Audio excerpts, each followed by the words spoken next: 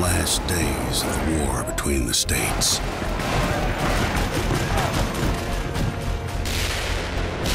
Three brothers lost everything. I have new orders from Colonel Barnsby. He's calling for a general retreat. Our family's homestead is in harm's way, and I'll be damned before I let Sherman's army burn it to the ground. So they mounted up and rode west to a land ruled by one law. Fittest. Kill them all! I've heard tales of an Aztec treasure just outside of Juarez. But as they chased the legend of forgotten gold, The conquistador who hid the treasure created a key. their past haunted their every footstep. You're the McCall brothers. I saw the wanted posters for you boys.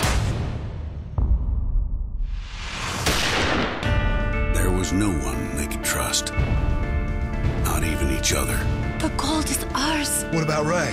We can't wait for him. Why are you doing this to me, brother? It ain't about you, Ray. Now they must decide what they value most gold or blood.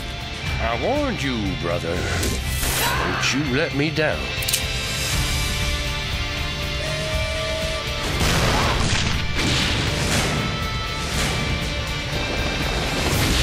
They'll never be ready for us.